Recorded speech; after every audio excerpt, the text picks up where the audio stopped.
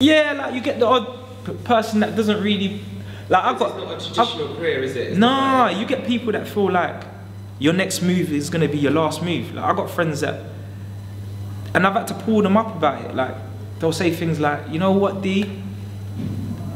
If you don't do anything else, at least you have you've achieved this. Mm.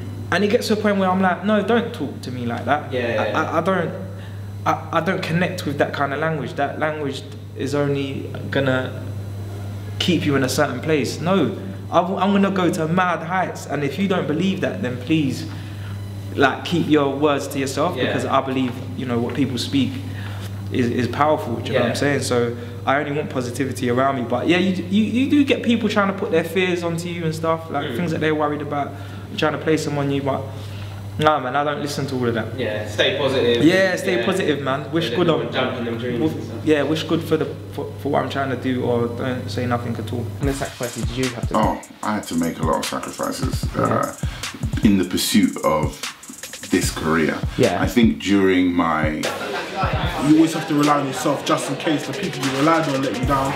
And you gotta understand it's not like an organisation you're working for like a